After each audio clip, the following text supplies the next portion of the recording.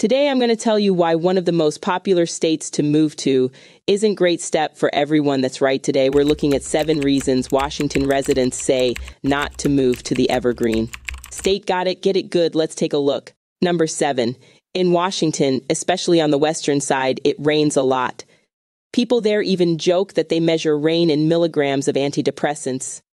The western side of the state gets much more rain than the eastern side. Seattle, for example, gets about 38 inches of rain each year, which is more than the national average.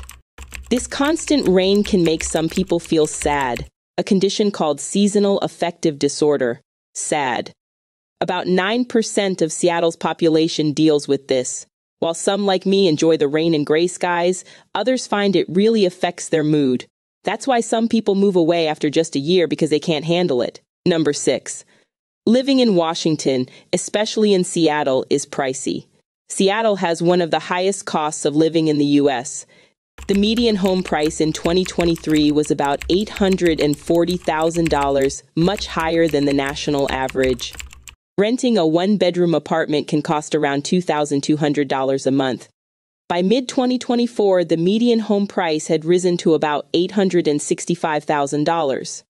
Even finding an apartment for less than $2,000 can be tough. Overall, Washington is more expensive than most states, thanks in part to Seattle's high tech industry and limited housing. While it gets a bit cheaper outside the city, even small mountain towns can be costly. Number 5. Traffic in Washington cities, especially Seattle, can be a nightmare. Seattle ranks as the seventh most congested city in the U.S., with drivers losing an average of 94 hours per year to traffic delays.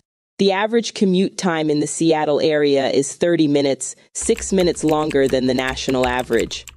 While there was hope for improvement during the pandemic with more people working from home, traffic barely changed. Number four, the Seattle freeze is real despite what some may say.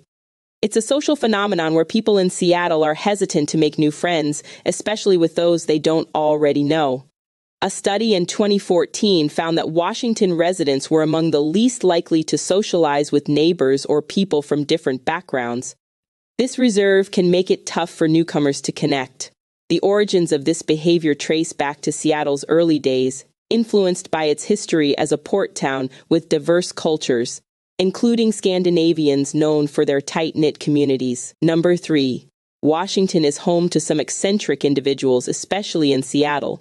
You'll find a mix of preppers preparing for doomsday, Bigfoot hunters exploring the woods, and artists with unique tastes. Even outside Seattle, you'll encounter odd characters. For example, in the eastern Moses Lake area, some folks may seem particularly unusual.